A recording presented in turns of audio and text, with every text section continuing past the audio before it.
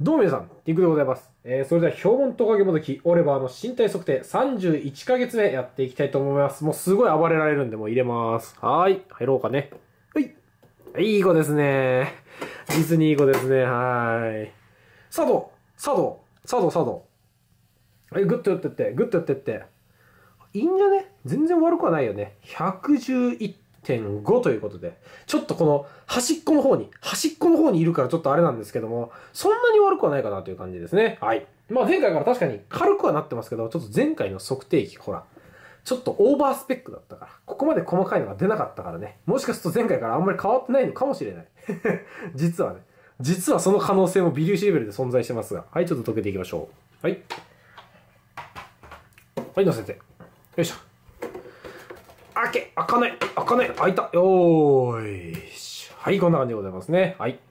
まあ、あの、今ね、し、あの、測定してる体重計が昔のやつに戻ってましたが、オレバーとウルルに関しては、ちょっと単位がちっちゃいので、ほとんど成長度合いがわかんねえ、変化度合いがわかんねえってことで、前のに戻しました。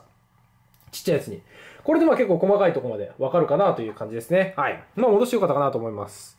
今日、見ていただいたらわかるようにちょっとね、白っぽくなっております。多分、あさってぐらいには脱皮完了するんじゃないかなという読みですが、まあ脱皮前ですね。典型的な脱皮前です。この子は特段この1ヶ月ね、まあもう毎度のことですよ。もうこの子もう3年に向けてもう徐々に徐々に進んでいってる段階ですんで、そんなに変化はないんですけれども、まあ元気でいてくれてますね。最近、あの、ちょっとコーンスネークのホロンの身体測定を見てる方はですね、そちらでもちょっと喋ってるんですけども、まあ、他のね、爬虫類の動画上げてる方、あの、結構見る機会があって、まあ、おすすめに結構出てくるんですよ。やっぱそれだけ数増えてきたっていうのは感じてて、自分のとチャンネル登録こうしてくださった方でも、こうなんか動画上げ始められた方とか、まあ、あの、上げてて自分のチャンネル登録してくださった方当然いるんですけども、まあ結構上げてる方いるなっていう印象で、見てるんですけど、あの、オレバーがね、やっぱりね、なんやろ、尻尾の太さには出てないけど、ちゃんと太ってんなってので分かってきて最近。ここはね、確かにあんま太くないっすわ。ここは。もっと太い子いっぱい、もうポリーしてる子いっぱいいるんですけど、ここ？わかります？ここ。この、この胴体のこの、このでっぷり感は本当にめちゃめちゃあるなと思います。これたまになんか、尻尾の太さはオレバーと同じぐらいなんやけど、ここが全然太くなくて、なんか埃ついてんだ、俺の手。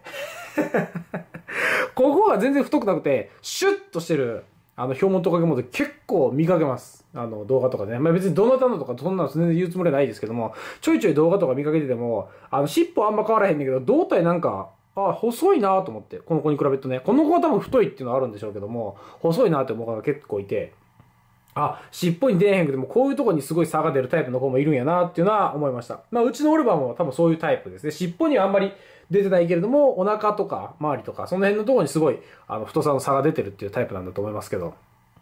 まあ、あの、この子はもう非常にでかいですから。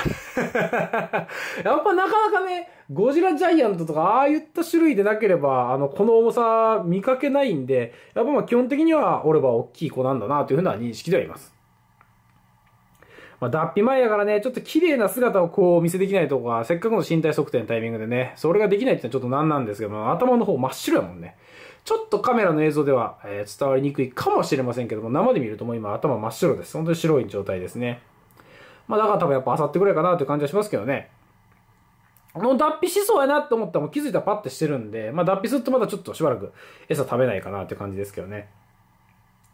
それでも、あの、デュビアにして、まあ、給仕動画ね、リクエストいただいてたんで、あげましたけれども、まあ、あんな感じで、一匹だけ、顔の大きさよりもちっちゃいですよね、ぐらいのデュビア、一匹だけでだいたいいつも給仕は終わってます。カルシウムパウダー、あの、カルシウムについてはちょっとまあ、あの、コメントで書かれてる方もいましたけどね、まあ、ダスティングするかどうかっていうのはまあ、えーその子次第かなって感じます。まあ、うちの子一応、置いてるカルシウム剤から食べてるんで、無理にダスティングしてやる必要はないっていうのは確かにないかなとは思います。はい。一応ま、マルベル CA に関しては、あの、毎日あげても大丈夫っていうメーカーさんの見解はありますが、それを信じるかどうかっていうのは、えー個人の自由かなと思いますんでね。メーカーさんは一応、えービタミン D3 とか書いてますけど、あの、天然の材料を使ってるから、ごくごく微少入ってるだけで、まあ毎日あげても全く問題ないですというふうにメーカーさんは言われてますが、果たしてどちらが正しい、何が正しいのかというのは、そこをまあ自己判断するのは、まあ飼い主の仕事かなと思いますんで、何？すげえ見られてる。どうした？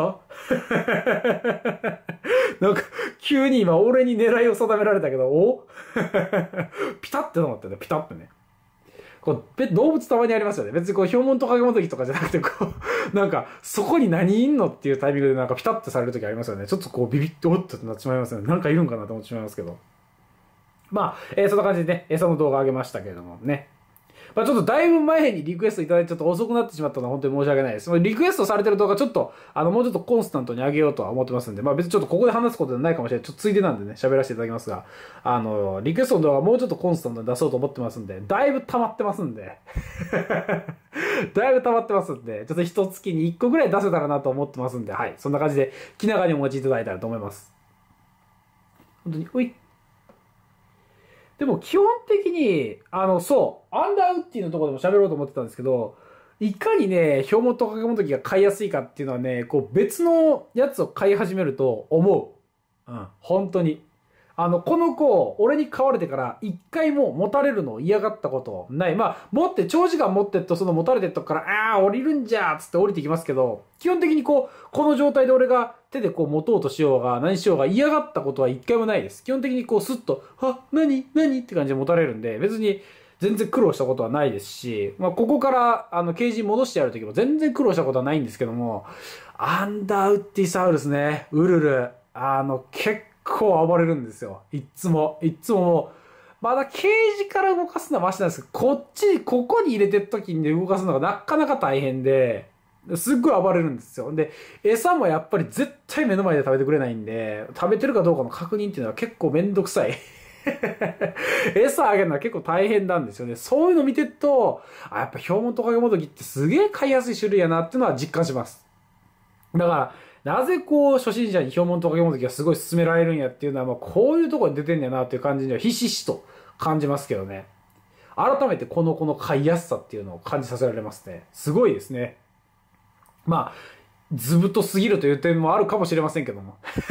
でもやっぱこう、ペット飼いたいなと思ってね、まあ、爬虫類っていうのはこう、鑑賞目的であんまり触らへんもんやと。基本的にこう人前にも姿見せへんしみたいな、そういうこう、きちんとした割り切りがある方はね、別だと思うんですけど、やっぱこう、なかなかこう、爬虫類初めて買おうかなとか、あの、ライトな方っていうのはそういう認識がないと思うんですよね。やっぱペットっていうのはこう、見て触って、こう、コミュニケーションがあってみたいな存在だと思うので、まあそういった意味で爬虫類の中でもそういうのを満たしてくれるっていうのはすごい種類としては少ないと思うんですけどね。まあその中で非常に優秀な部類だと思うんですよ。標本とか標本的。この図太さっていうのがそれをできるゆえんだと思うんで。で、まあ、色も綺麗で、とこですよね。で、スペースもあんまり取らなくてっていうなってくると、やっぱまあ人気のゆえんはそれなのかなと、まあ3年目にしておめ3年経とうとしてる段階で遅えなって言われそうですけど、まあ改めて実感します、本当に。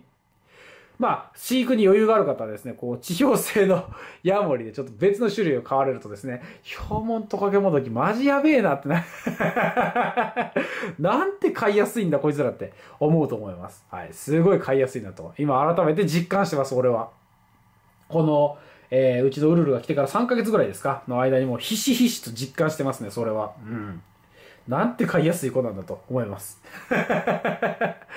今日こっちがズボラでもね、全然勘弁してくれますからね。この間でもね、珍しくね、ウェットシェルターの上に登ってたんですよ。すっごい珍しい。久しぶりに見ましたね、登ってる姿。ここ最近見なかったんですけどね。な、何を思ったんか知らないですけども。まあ、もしかしたら俺がいない間に登ってんのかもしれないけど、彼にしてみると、まあ、俺は一応オスですからね。この子にしてみると、一応そんなになんか、別に珍しいことではないよみたいな。いつも僕そうしてますけど、みたいな感じなのかもしれないですけどね。俺はだいぶ久しぶりに見ました。ちっちゃい頃は結構ね、ウェットシェルターに登ってるなっていう印象だったんですけどね。あ、ほんでそう、この間ね、初めて、まともに見たのは初めてかもしれん。水飲んでるシーンをね、見たんですよ。そうそうそうそう。めったに見せへん。あの、うちの家で見せてくれるのはコーンスネークのホロンだけです。目の前で見せてくれるのは。もう、後の子は水飲んでんのかどうか本当にわかんない。本当に飲んでんのかなって怪しいもん。もう、あの、セントラルパイソンのマルスに関してはもう本当飲んでんのかもう疑わしいんですけど、この子は飲んでるやなと思ってましたけど、まともに飲んでるシーン見たの初めてかもしれへん。びっくりしました。人がいるとこで、あ飲んでると思って。まあ、コーンステークのね、フォローはね、ほんともう、すっごいもう、あの、こう、掃除しようとしたタイミングで飲み始めたりとか、もう、お構いなしなんで、俺が前に言おう何しようが。あれなんですけど、まだこの子はそういうシーン全然見せてくれてなかったんですけどね。ちょっとやっぱ、水飲むシーン見れると、なんかちょっと、よしみたいな、やったねみたいな感じになりますね。なかなかやっぱレアなシーンだと思いますんで、こう、気を許してくれてるからこそ見せてくれてるとこなのかなという気もしますし、まあ、たまたまの可能性もありますが。見れたのは良かったなと思います。3年経とうとしてようやくそういうシーンを見ることができた。どうもティンクです。はい。まあ10分くらい経ちますんでね、えー、これぐらいで今回は終わりましょうかね。はい。じゃあ、えー、見ていただいてありがとうございました。またよかったら次回の身体測定動画、あるいは別の動画でお会いしましょう。お疲れ様です。